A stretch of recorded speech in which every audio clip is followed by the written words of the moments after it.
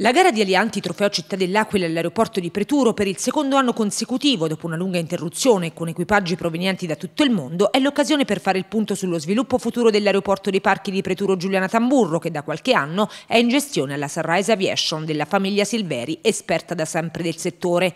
A guardarlo l'aeroporto oggi ha già una nuova veste, curato, con bar e ristorante riaperti e una programmazione importante sul futuro, perché oltre alla scuola di volo esistente si sta lavorando per un potenziamento generale dello scalo Calo si sta pensando a un sistema di collegamenti con località turistiche di vario genere.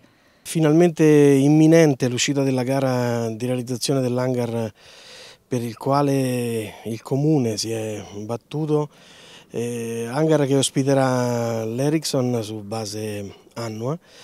Per questo ringrazio il consigliere Vittorini e il sindaco Pierluigi Biondi.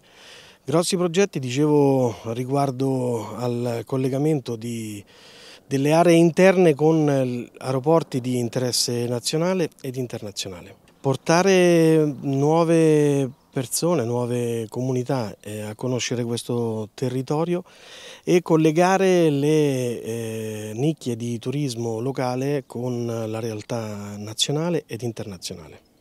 L'aeroporto di Preturo, Giuliana Tamburro, è il miglior posto al mondo per volare in Aleante. Ne è certo Ezio Sarti, presidente dell'Aeroclub Gran Sasso d'Italia Ferro Piludo. Questo è il più bel sito al mondo per fare attività di volo a velo in Aliante. Noi abbiamo delle montagne uniche al mondo incastonate fra due mari perché qui abbiamo le brezze del Tirreno e dell'Adriatico che si incontrano su questa catena montuosa, in particolare sul Gran Sasso. Lo scorso anno abbiamo avuto piloti che sono venuti dalla Nuova Zelanda. Tutto il mondo del volo a vela sa che quest'area è la migliore per fare questo sport, si trovano delle condizioni ineguagliabili. Potremmo dire la Nuova Zelanda, ma la Nuova Zelanda sta fra due oceani, non fra due mari, noi siamo fra l'Adriatico e il Tirreno, è tutto un altro mondo.